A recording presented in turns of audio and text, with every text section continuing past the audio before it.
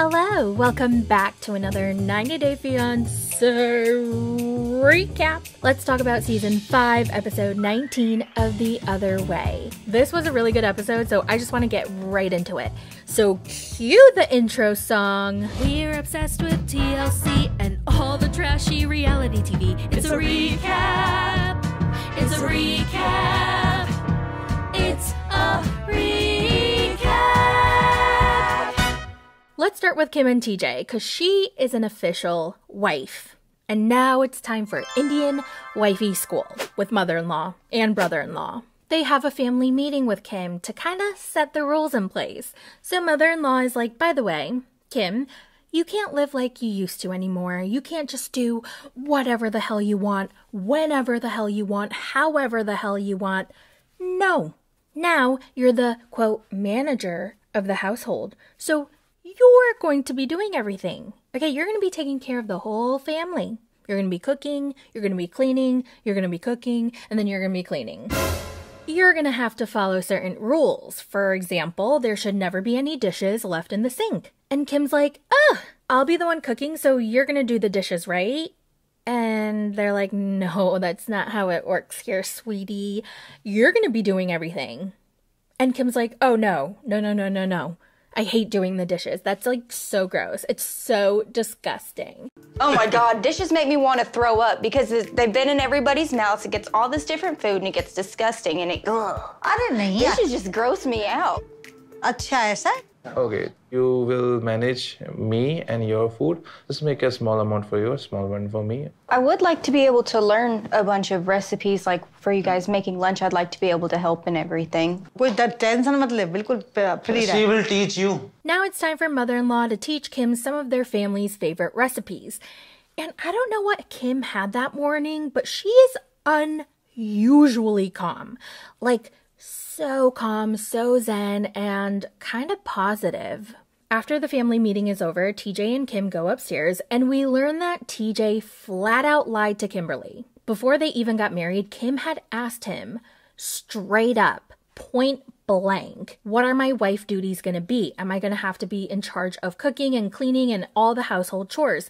And TJ basically told her, no, you don't have to worry about any of that. I feel like you were hiding stuff from me. It comes to me as disrespectful because I'm supposed to be your partner. It should have been done from my side, but maybe I didn't know much about the things. That's why we had a meeting with my mom. She's much clear about things. So he blatantly lied to her. Okay? So I don't know how Kim is being so calm and she's not freaking the fork out because I would have done that. I would have ripped him a new a hole. Like I would have dug my fingers in there and ripped it. Like I said, I don't know how she's remaining so calm and so pleasant, but uh, I couldn't have done that. So kudos to Kim. And you know what else pissed me off? TJ was acting so innocent and so clueless when she was like, "Yeah, um you totally hid these things from me." He was like, "Oh, yeah. Um sorry." Excuse me? Sorry? No, no, no, no, no, no. That's so messed up. Oh, I just felt so bad for Kim in that moment. Like, oh, like I'm getting, I'm getting pissed off right now for her. Kim is a whole different person. I mean, she's doing exceptionally well given everything that's been happening. She loves learning the customs, adapting, learning new traditions, Indian recipes. But then there's this one particular ritual that she just cannot get down with. It's a ritual where they bring in cow poop into the kitchen and they light it and they basically spread the smoke everywhere around the house because apparently it has antimicrobial properties in the cow dung that is supposed to like purify the kitchen or the house. I'm not sure. But basically, her whole entire house is about to smell like cow shit. Now, this is what I really need to know. Is the cow dung purification ritual performed every single morning before they cook? Is this a daily thing? Or is this just like once in a lifetime thing after somebody gets married? I need details because the details are important. Because if this is a frequent thing, I can understand why Kim doesn't want to eat anything that comes out of that kitchen. Like if I were in that position, I would have to heavily rely on already made microwavable meals like factor meals because they're fresh, never frozen, and they're delivered right to your door. They're delicious meals that a team of gourmet chefs created, so you don't have to prep anything. You just pop it in the oven or the microwave and you can enjoy it. Plus, it's the holiday season, my favorite time of the year, but admittedly, it can get very stressful with how busy it gets. And the last thing I'm going to want to do is cook or grocery shop or prepare to cook or clean. Nothing. I don't want to do anything. And that's why factor meals are the best.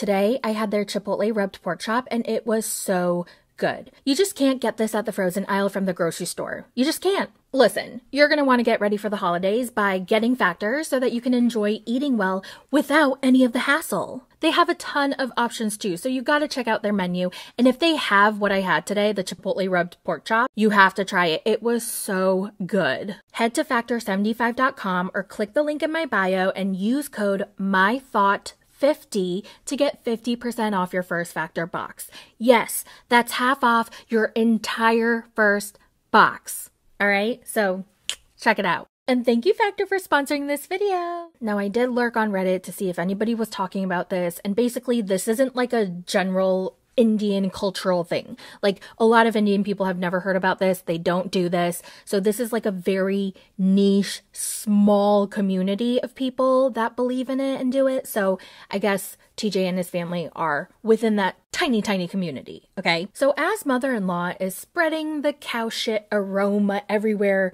around the house, the brother so casually says, All right, it's time for the cow urine to be sprinkled everywhere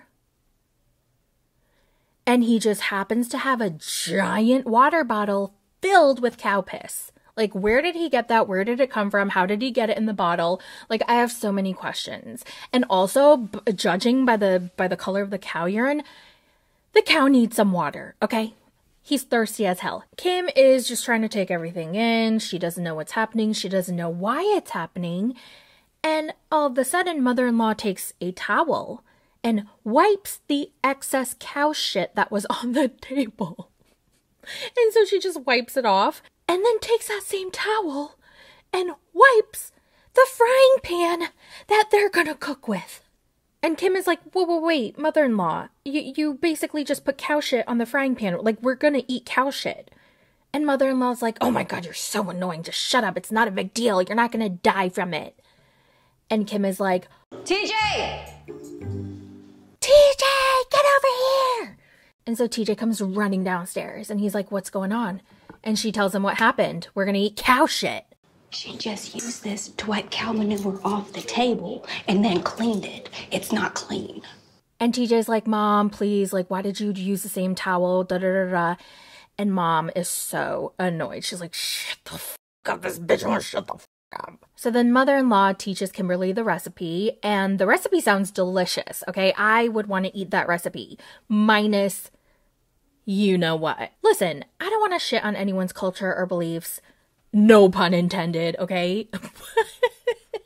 no, really though. I really don't mean to. But I I have to agree with Kim. I would draw the line at cow shit or any type of shit. I don't care if the shit comes from I don't freaking care. I don't want it. Now moving on to Mary and Brandan. Feeling sad for Mary was not on my bingo card. I felt bad. Did anybody else feel bad? Like, you have to understand that Mary can be a shitty person and also be in a shitty situation with Brandan. Like, multiple things can be true at once. I'm stressed because it's always me budgeting money and taking care of the debt. And he knows to himself that he's not helping me. She needs financial help. She needs money. Yes, I know he sent her money for so long to build that new house that they have, and that's wonderful.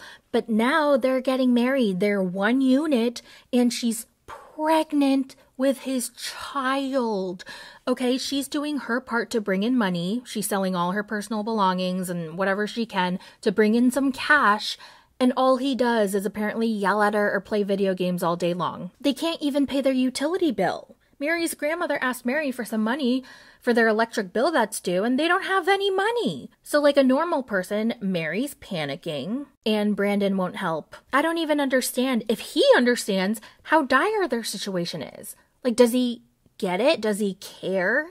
What's going on? Also, can we talk about how they've been fighting a lot in the past couple episodes, but we've never seen it? The only footage we got was from like a hidden camera view that Brandan wasn't aware of, so that leads me to believe that he might be purposely avoiding the cameras when he's not in a good mood. Mary's at a church. She's pregnant. She has nowhere else to go. Brandan won't talk to her. He's just playing video games. She's frustrated. She needs to like release her stress somewhere. So she's at the church and Brandan's mother finds her. And I just didn't expect Brandan's mom and Mary to get along.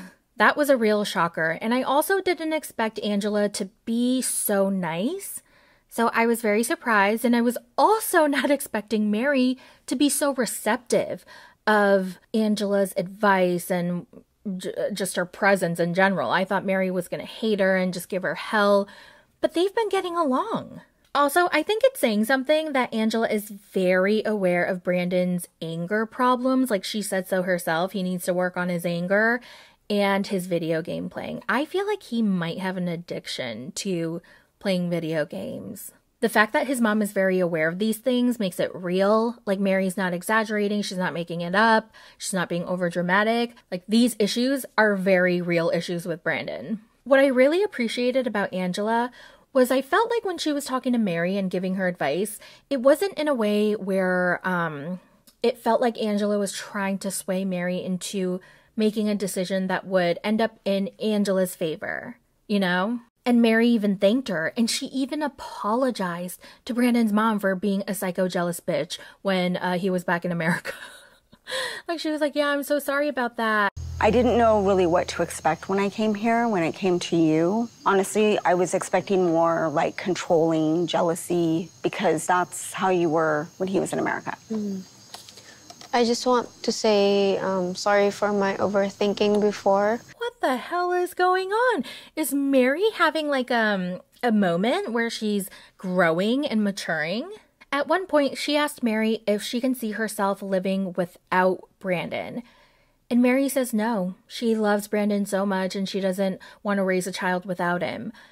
But honestly, if um, Brandan just keeps going the way he's going right now, it's better if she raises the child by herself because she's going to do it anyway. She's going to raise her kid by herself anyway. And then if Brandan's there, she's going to raise him as well. Like she's going to have to take care of her husband and her kid. But damn, I just can't believe they're getting married the next day. Okay, they're getting married tomorrow and they have all these issues and I don't I don't know. I want to get a scene of their fight. I want to see it. Maybe that's why Mary started live streaming because the show didn't show any of it. Moving on to Sarper and Shekinah. I gotta say, I really wasn't looking forward to Shekinah and Sarper in the beginning. I just felt like they were gonna be vapid and just fakey, fake, fake storylines. But I absolutely believe that they're a real couple and they actually love each other and that Sarper is actually that way. Like, he is reality TV gold. He says some out of pocket shit and it's funny because he's so serious. She's texting, she acts like a slut. You know? I mean, uh, bitch. I said I don't want to have I have was kids. thinking a one night stand with you. I want to neither. f- you the, that night. All right, so Sarper still wants a kid, and he's going to make it his mission to try and change Shekinah's mind. He meets with his parents, who also tell him that they want a grandchild. And it's very important because he's the only child, so he's the only hope they have for having a grandbaby. That's a lot of pressure. Apparently, he introduced Shekinah to his parents, and his parents were shocked because he never introduces any girlfriend to his parents. So they were like, wow, this must be really serious. And on a good note, they really liked her. They were like, oh, since she was American, I thought she was gonna be cold and rude, but she was very pleasant. She was very sweet. So they all got along and everything went well, except for the baby part. His mom tells Sarper, listen, pregnancy is very difficult on a woman, but it's her job. And if she really loves you, she should make that sacrifice and give you a child. Çocuk istemiyor değil mi? İstemiyor. Ve çok net. Yani Evet, ha, öyle mi? Ya kesin. Vallahi ben yani benim düşüncem ben çok çocuk istiyorum. Yani torun istiyorum. Hamilelik kolay bir şey değil kadın için. Yani Mesleği o zaten. Güzel. Buradaki şu sevdiğin erkek çok istiyorsa çocuk o zaman biraz fedakar. That's a hard no from me, but whatever. That's their belief. They're entitled to it. Sarper even said that he was planning on proposing to Shekinah, like he even was looking at rings to buy her, but now that she doesn't want a kid, or she doesn't want any more kids, he doesn't see the point in getting married or proposing, like if they're not going to have kids. Why I consider proposal if she doesn't want a kid? I have to reconsider everything. How about you get married because you love the person and you want to spend the rest of your life with them? I mean, you can still have kids without getting married, and you can get married and still not have kids. Like, what? Sarper's like, hmm, how do I convince here to have my child? So he takes her to a Turkish bathhouse, which looked incredible. I would love to go to one. And he's like, Shekinah, I'm trying very hard to change my ways. You notice that, right, Shekinah? Well, my mother said directly that she wants grandchild, so I want you to reconsider. Oh my god, Sarper, are you sure you really want a kid, or are you just trying to please your parents? Yes, Shekinah, that is the purpose of life. Well, Sophie's dad basically left me to raise her all by myself, and it was like so, so hard. I don't be like that, Shekinah. You don't even know me, babe. Really sorry to be saying this, but like my ex-husband said the same exact things to me, and look what happened. Oh, Shekinah. We live together no problem until we get bored of each other, then what? Sarper, what are you saying? There's no future, there's no kid? Like, there's a whole life ahead of us, okay? Oh no, it must be my karma for my 2500.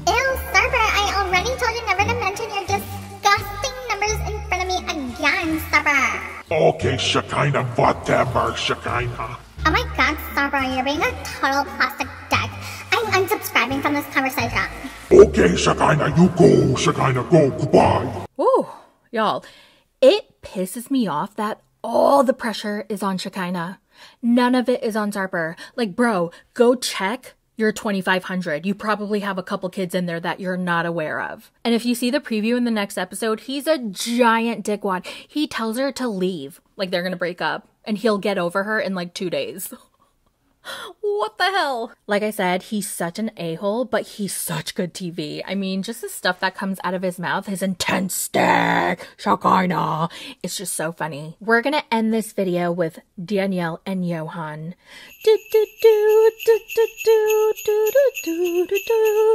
Daniele and Yohan are role playing as Santa and Elf on the Shelf. Okay, that's an interesting role play, but Okay.